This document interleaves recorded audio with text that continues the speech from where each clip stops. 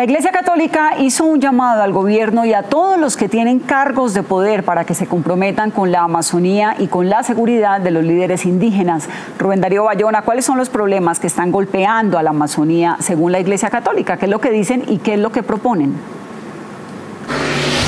Vanessa, buenas tardes. Mire, la minería ilegal, la deforestación, los proyectos de desarrollo que se hacen a espaldas de las comunidades y lo que han llamado aquí también la colonización de la Amazonía, según la iglesia, está poniendo en peligro a este pulmón del mundo y también a los líderes indígenas, a los indígenas de esta región del país que están siendo también asesinados y amenazados. Por eso es el llamado urgente de la iglesia católica. 17 obispos de esa región del país, junto con eh, los indígenas también de esa región, están preparando un documento que van a presentar eh, por parte de la Iglesia Católica Colombiana el próximo mes de octubre en el Vaticano cuando se lleve a cabo el sínodo sobre la Amazonía. La Iglesia Católica dice que es urgente que se tomen medidas porque el tiempo está corriendo y juega en contra también del mundo y se ofrecen para unir voluntades que puedan salvar a la Amazonía.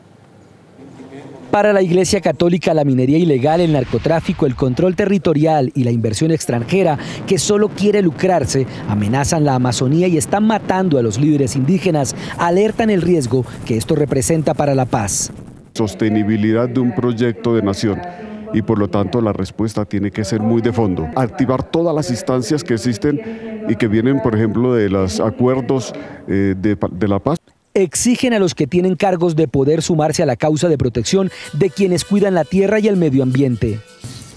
Proteger a los pueblos indígenas y sus territorios y es una exigencia fundamental y un compromiso básico con los derechos humanos y para la Iglesia se torna en un imperativo moral los asesinatos y amenazas de los indígenas será también tema del sínodo sobre la Amazonía en octubre en Roma. Además dice la Iglesia que el tiempo para proteger este pulmón del mundo se agota. Vemos como un gran desafío los grandes proyectos de desarrollo que están de espaldas a, todo el tema de la conservación amazónica y ambiental en general.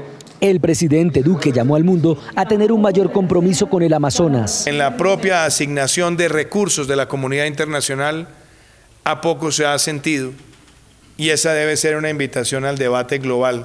Este jueves la Iglesia Católica Colombiana tendrá listo el documento que llevará al Papa Francisco sobre la situación de la Amazonía colombiana.